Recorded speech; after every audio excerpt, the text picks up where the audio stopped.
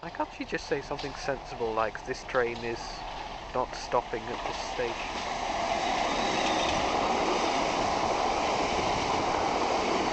Let's say this train is not for customer use when it is.